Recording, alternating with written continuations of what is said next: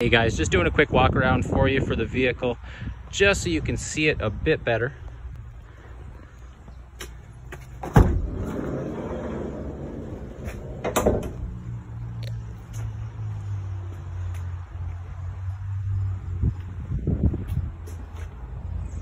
Coming around towards the back.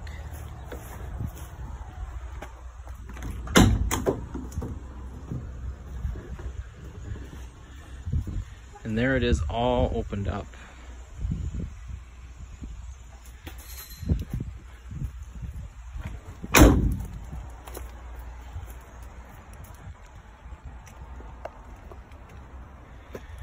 your fuel door there.